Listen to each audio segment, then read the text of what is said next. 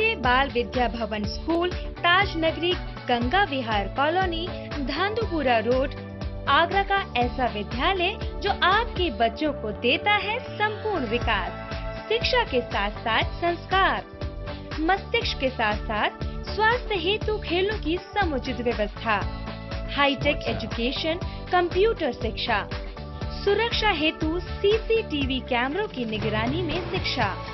प्रशिक्षित शिक्षक, शिक्षिकाएँ high educated management लाने ले जाने के लिए बस सुविधा। प्रवेश प्रारंभ, बच्चों के उज्जवल भविष्य के लिए संपर्क करें। Bharatiya Bal Vidya Bhavan school, Ganga Vihar colony Dhandhupura road, Agra. Contact number nine four double one zero eight four two one four और double nine five three seven three double seven double nine. Nagari का अध्यक्ष रह चुका है। उसमें उसने बासठ लाख का घोटाला किया था।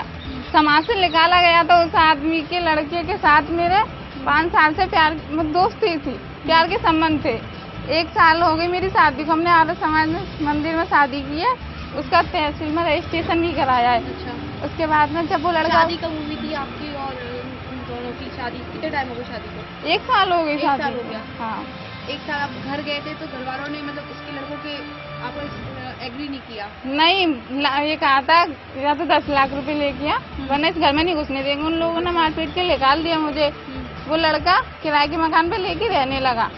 अब वो आठ महीने रहा है मेरे साथ।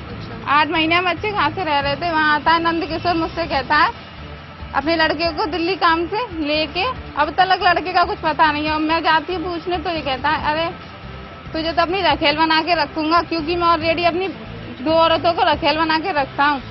उसके बाद में जब लड़का ले चला गया उसके पाँच तारीख को मेरे साथ आके मेरे साथ गंदी हरकत की रेप मतलब कि बलात्कार किया।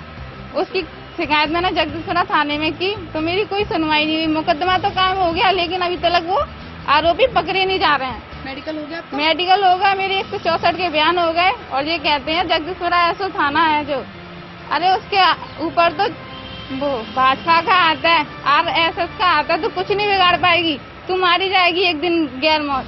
क्या मैम मैं मारी जाऊँगी? उस आदमी ने मेरे बच्चे गिरवा दिए तो दवा खिला के मैं तो क्या मेरे जिसको इंसाफ नहीं मिलेगा। ऐसा ही होता होगा, गरीब लड़कियों के साथ ऐसा ही होता रहेगा।